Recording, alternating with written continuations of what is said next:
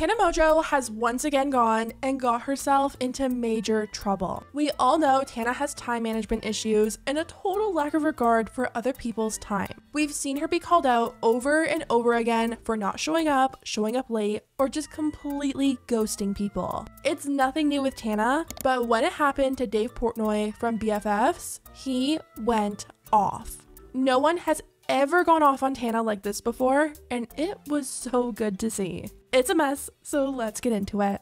Over the past few years, Tana Mongeau has shown less of an interest in her YouTube channel and more of an interest in podcasts. Not only did she start her own podcast, but she also goes on a ton of other people's podcasts as a guest. The only problem with Tana guesting on podcasts is that she's running on someone else's time. Normally, these podcasts run on a really tight schedule, all these creators have to clear time every week to meet up, make sure the time works for everyone else, and produce a show. If you guys know Tana, you know being on time has never been her greatest ability. Ever since Tana started her career online, she's been known to be unreliable. Even back in the early days, Tana would constantly be late to collabs, and even worse, be a no show, no call. A few years ago, she even stood up Jeffree Star when they planned to do a video together. Um, so yesterday, Tana never showed up.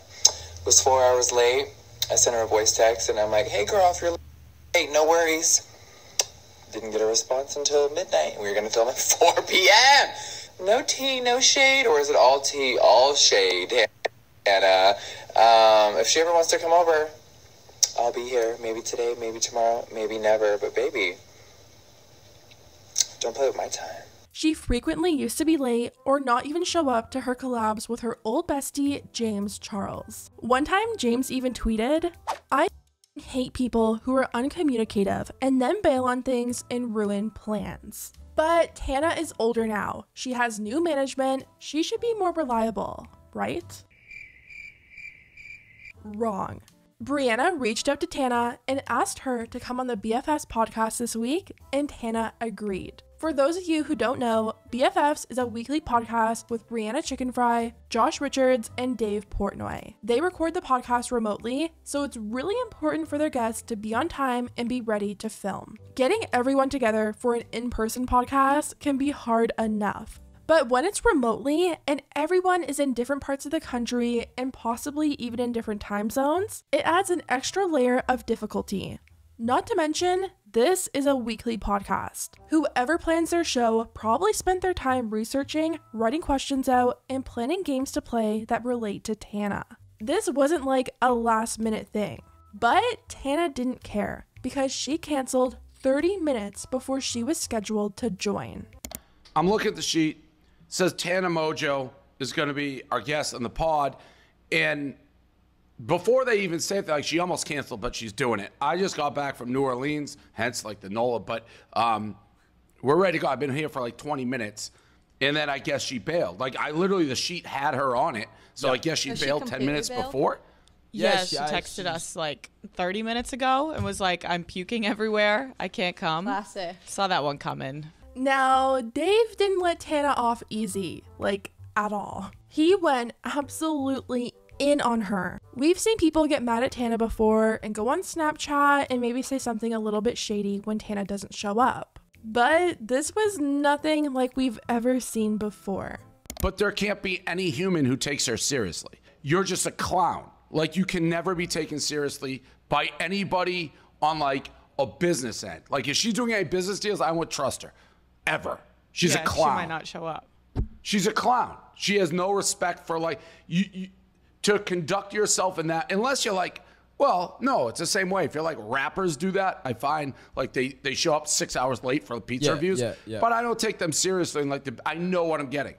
I think we already know that Tana shouldn't be trusted with business deals. If you guys remember her show with MTV, Tana gave her manager at the time, Jordan, such a hard time. Tana was scheduled to launch her perfume at a certain time. Her manufacturer was overseas and she needed to be ready at a specific time. Jordan called and called and called her and she never answered or showed up. It's crazy because it just goes to show that Tana doesn't care about her products or her business. There's so many people out there with amazing products, but they don't have the resources to promote them or sell them the way that Tana does. Tana doesn't even have amazing products, and she doesn't even have the drive to wake up by 3 p.m. to attend her business meetings to make money.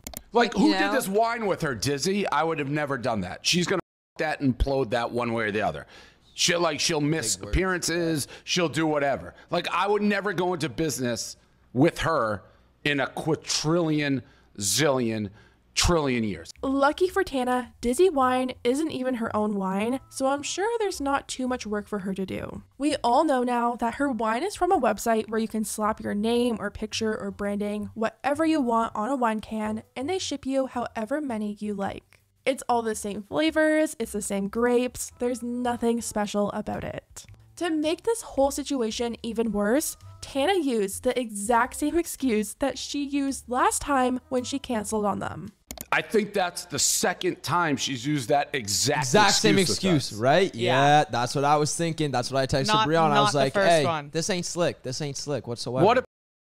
A, you Yeah, you yeah. cancel like Business, twenty minutes Dave. before with the same exact excuse you had last time, like the same one. That's the problem. It's the same excuse. Like, ah, you got to come up with something different, right? You can't use That- Puking yeah, everywhere. that's what I said. Dog that's ate my homework twice? last- Yeah. yeah. She she said she had COVID and was puking everywhere. This time she's just puking everywhere. Say you got run over by a car. Yeah, At some- least at that. least At something least, creative, right? not Yeah. the puking. And this isn't a situation where Tana might have just forgotten and it was planned ages ago and it just slipped her mind. Brie literally just asked her and she confirmed the night before and the morning of. uh, I was talking to her and she was like, "Yeah, for sure, I'll come on." And then I gave her the time and dates like 20 times, and then she said sure, and then t- she texted 30 minutes before today and said no, and, she why- confirmed oh, again yesterday too. She actually didn't she not text us this morning, Brianna, and say like, "Yo, we still doing this?" Yeah, she texted something me like and Josh that? in a group yeah. chat this morning. Was like, "We're all good for today," and I was like, "Yep, you got the address, sent over everything." And then 30 minutes before, she was like, "I'm puking. I don't know what to do, guys." Everyone in the comments was really happy that someone was finally calling Tana out on how unprofessional she is.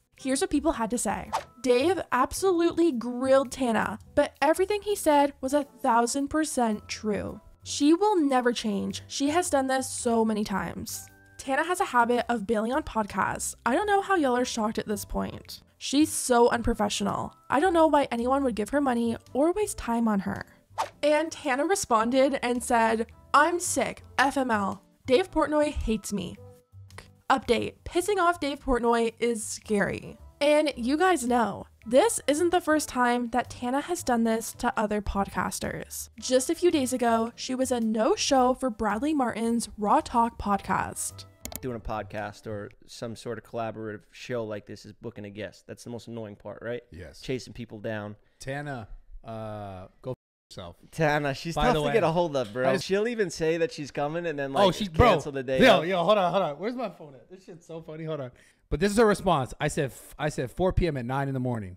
Okay. Yeah. And I don't give a f- if she sees this.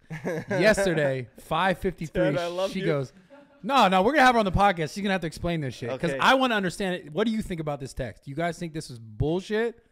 Like, because it's it's a little crazy. She's probably wasted when she Probably four. I said 4 p.m. 9 a.m. at 9 a.m. Send a text. So 4 p.m. That's the time we're doing the podcast. 5:53.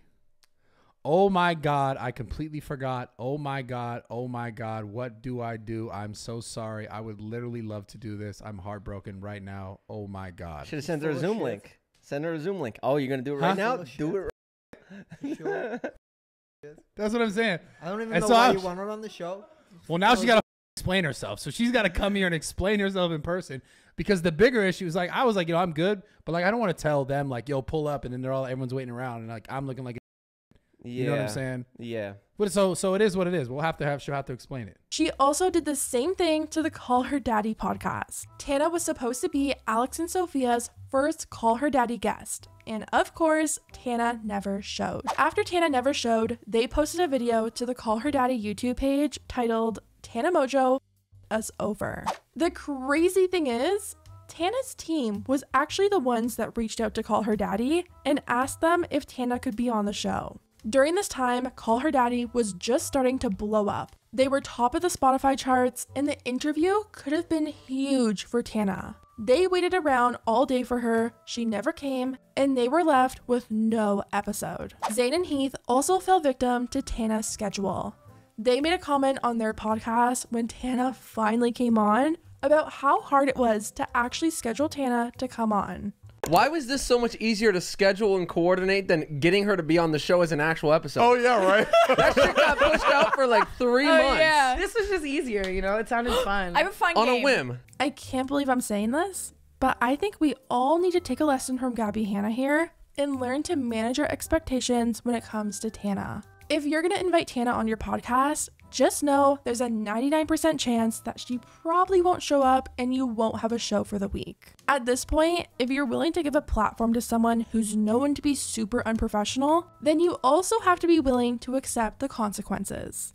Anyways, guys, let me know what you think about everything down below, and I'll see you next time.